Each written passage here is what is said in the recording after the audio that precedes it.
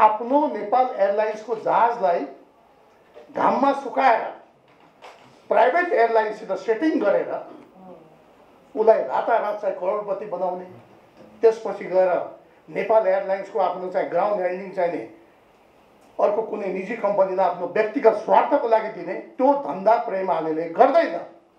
म त्योमा छैन। म तपाईँलाई यो पनि विश्वास दिलाउन चाहन्छु।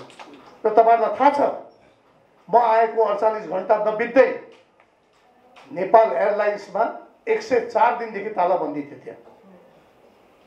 त्यहाँका चाहिँ सङ्घ सङ्गठन युनियनका साथीहरूलाई बोलाएर मैले र सचिवजीले हामीले वार्ता गऱ्यौँ। उहाँहरू मानिराख्नु भएको थिएन। त्यहाँको नि कार्यकारीलाई त्यहाँबाट हटाउनु पऱ्यो भनेर उहाँहरूको माग थियो। अन्तिममा गएर हामीले उहाँहरूलाई सम्झायौँ। मैले हात जोडेर भने। वात्सल्य नेचुरल आइभीएफ आधुनिक चिकित्सा उच्च सफलता दर अन्तर्राष्ट्रिय स्तरको उपचारद्वारा सन्तान प्राप्ति सम्भव छ। यो नेपाल एयरलाइन्समा यो ध्वजाबाज जहाजमा तपाईँहरूको रगत पसिना बगेको छ। ताला तपाईँहरूले लगाउनु भयो भने काम कसरी गर्ने? हामी यसलाई पन्ध्र दिनभित्र समाधान गर्छौँ भनेर हामीले भनेका थियौँ र उहाँहरूको माग के थियो भन्दा हामीलाई चाहिँ अध्यक्ष चाहिन्छ। अध्यक्ष तपाईँ छिटो नियुक्ति गर्नुहोस् भन्नुभयो। हिजो क्याबिनेटबाट हामीले अध्यक्ष पनि नियुक्ति गरिसकेका छौँ।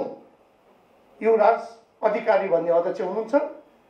अब छिटै एनएको बैठक बसेर दुईवटा जहाज छ हाम्रो वाइ टुवेल्भ त्यो जति दिन त्यहाँ बस्छ त्यति त्यसको हैसियत बिग्रिँदै जान्छ। आज हामीसित जम्मा दुईवटा ट्विनेटर छ। दुईवटा नेरो बडी छ दुईवटा वाइट बडी छ। आज हामी आउ आइकाउको ब्ल्याक लिस्टमा छौँ। त्यो ब्ल्याक लिस्ट हटाएन भने हामीले पर्यटक कसरी ल्याउने? एयरपोर्टमा आइसकेपछि पर्यटक नाक नाक थुन्न बाध्य हुन्छ। छिची छिची हुन्छ।